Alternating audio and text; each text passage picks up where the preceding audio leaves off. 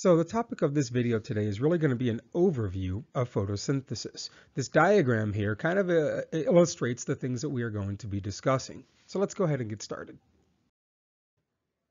So the sun gives off a wide variety of types of energy and the energy travels across space in the form of a wave and you can see the different kinds of energy, radio, microwave, infrared, and so on.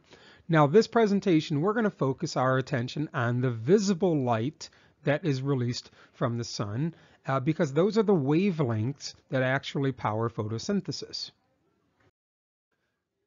So when we focus on the light given off by the sun, the visible light, visible light is also known as white light. Now you might know that white light is actually a mixture of something called Roy G. Biv, which is the colors of the rainbow, the spectrum here, red, orange, yellow, green, blue, indigo, violet. So white light is actually a mixture of all these colors together. Well, how do we know this?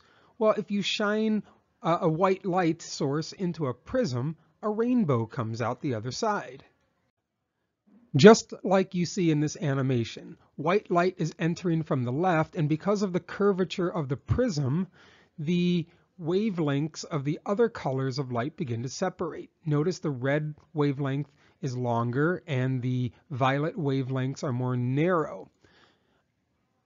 And in this picture right here, you can actually see white light coming in and on the left-hand side, a rainbow coming out. So this is how we know that uh, white light is a mixture of all these colors.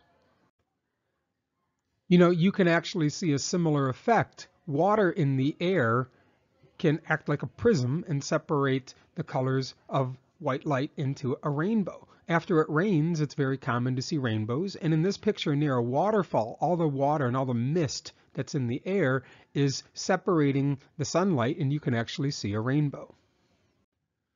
So colors of light are either reflected or absorbed by objects. You know, in this example, when we shine light onto a leaf, we see reflected light. And in this example, green light is reflecting off of the leaves, but the other colors are absorbing into the leaves.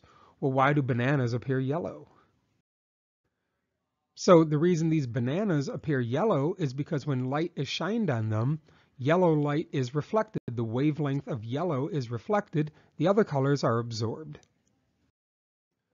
So in this example, when light is shined on these balloons, the reason the balloons appear blue is because they're reflecting the blue wavelength. The other colors are absorbed. So white is an interesting color. So white objects, they appear white because they reflect all the wavelengths and all the wavelengths enter our eyes and our brain interprets this as the color white. So the opposite effect are objects that are colored black. When light shines on a black object, no light reflects into our eyes and and we and the black object absorbs the colors and we don't see any light at all and, and that's what we interpret as the color black. Okay, so when we relate this to photosynthesis, you know, most plants have green leaves, which means when sunlight shines on them, the reason they appear green is because they're reflecting green light. It's the other colors, the red, the orange, the yellow, the blue, the indigo, violet, that are absorbing. The other colors are absorbing into the leaves, and it's really the other, uh, the other colors that are really going to drive and power photosynthesis. So here's a really interesting graph, and what this graph is showing at the bottom of the graph, the wavelengths of visible light. And the numbers correspond to various colors. And when you look at the line graph, notice there's a peak around 400 nanometers. Well, that's the wavelength for blue light. And notice there's another peak around 700 nanometers. That's the wavelength for red light. So what this graph is showing me is the rate of photosynthesis is highest in red light and uh, in blue light. So red and blue are the colors of light that are most stimulating in terms of a plant's ability to do photosynthesis. Notice there's a dip or a valley in the middle of the graph around 550 nanometers. Ironically, that's the wavelength for green. So the color that we most uh, uh, relate to plants, you know, green leaves. The color that we most think of when in, in, terms of plants, green is actually the least powerful to them in photosynthesis because leaves are green. Most green sunlight is reflected. Very little green light ever actually absorbs for them to do for, for them to do photosynthesis with the green light. So when we look at a general definition of photosynthesis, you know, it's the process that converts solar energy into glucose. And this formula here outlines photosynthesis. And in the reactants, we have carbon dioxide and water. And in the presence of sunlight, will produce sugars such as glucose and oxygen. Well, who? Who performs photosynthesis? Well, these are the autotrophs. Now, we typically think of plants as doing photosynthesis, but they're not the only ones. Algae, phytoplankton, the basis of ocean food webs, kelp, Kelp can grow into these enormous underwater forests. And even some bacteria known as cyanobacteria are photosynthetic. So there's a lot more autotrophs than just plants. So photosynthesis is also what we call an endergonic chemical reaction. And what that means is that photosynthesis requires the input of energy. From the picture, I'm implying that sunlight. Sunlight is the energy that is input to power photosynthesis. And when we talk about the end result, what's created? Well, oxygen, which is a waste gas, and simple sugars like glucose. But when we zoom on into the leaf, we find some peculiar pores on their underside. These pores will open and close, and they're called stomata, and it's how they exchange gases. It's how they take in carbon dioxide from the atmosphere, and when they produce oxygen as a waste through these stomata openings, they give off the oxygen created. So it's through these pores that they exchange gas with the atmosphere. Okay, so let's actually get into the process of photosynthesis. You know, as an overview, you're probably going to see a diagram very similar to this. Well, we're going to be able to break photosynthesis down into two separate reactions. If this is a chloroplast, inside of the chloroplast there are internal parts. And on the left side of my diagram are the parts involved in the light-dependent reactions of photosynthesis. Like the name implies, sunlight is, is needed. Sunlight, this is dependent upon sunlight. And then on the right-hand side of the chloroplast, this is, would be the light-independent reactions, also known as the Calvin cycle. So throughout the rest of these notes, we're going to make sense out of this summary diagram that you see right here.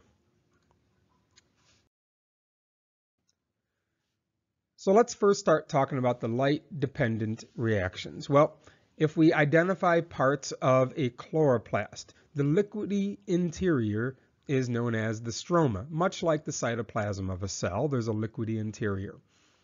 And then there are these structures, these little discs that are stacked on top of each other called a thylakoid. So there's a thylakoid disc, there's a thylakoid disc, there's one, there's one, there's one. And the entire stack of thylakoids is what's called a granum. So if you ever come across the word the words thylakoids and granum, well, I hope this gives you a better understanding of what they are. They are parts inside of a chloroplast.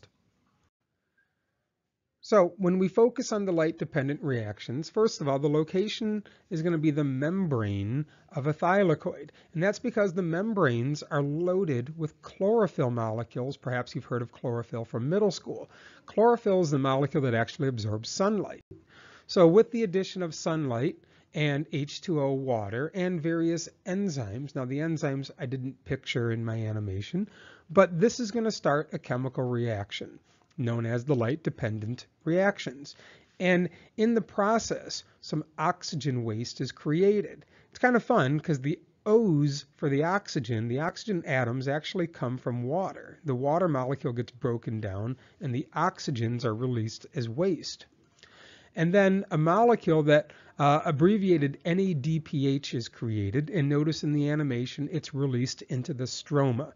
NADPH is a pretty big molecule here. Molecule here. You can see its name, nicotinamide adenine dinucleotide phosphate. 21 carbons, 29 hydrogens, and so on. Um, the formula of NADPH, I'm, I'm not going to test you on that. But the importance of NAD, NADPH is that it's a hydrogen carrier. It's carrying a lot of hydrogens, and those hydrogens are going to go into the stroma where we're going to have uh, where they're going to be used in the second part, the second reaction of photosynthesis. Also, molecules of ATP are produced. And so you have really three things that are created, oxygen waste, NADPH, and ATP. Well, now let's focus on the light-independent reactions, also known as the Calvin cycle. And so the location of the Calvin cycle, the location of the light-independent reactions, is the liquidy interior of the chloroplast, the stroma. And we now have the input of carbon dioxide. You've probably known for a while that plants and other autotrophs absorb and take in carbon dioxide. And here's where they need it. They take in carbon dioxide, plus the ATP from the light-dependent reactions, plus the NADPH from the light-dependent reactions, and this starts what is known as the Calvin cycle, a series of chemical reactions in order to create glucose. C6H12O6.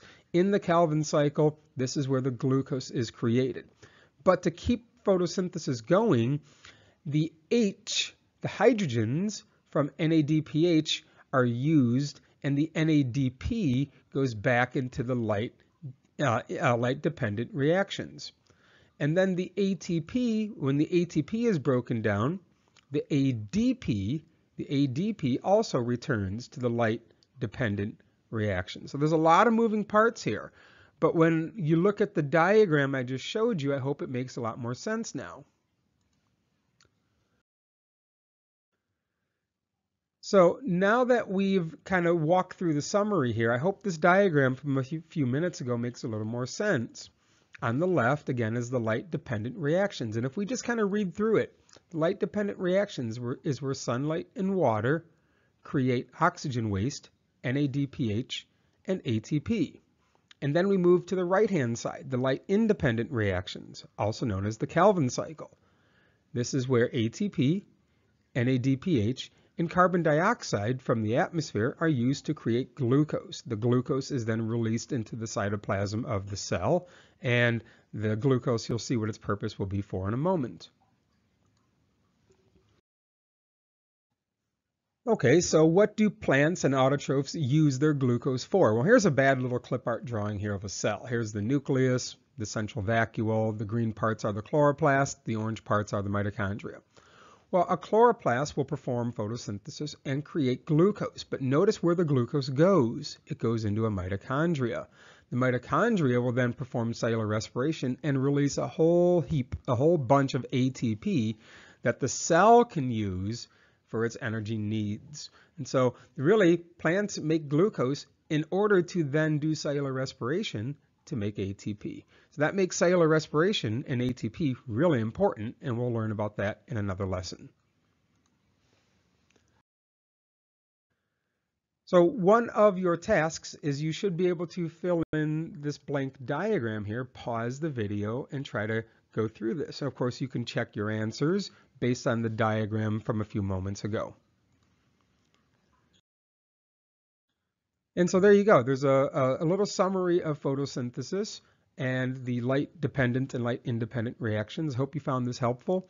If you're in my class, you know, try these questions. I'm happy to check your answers before school or after school one day. Thanks for watching.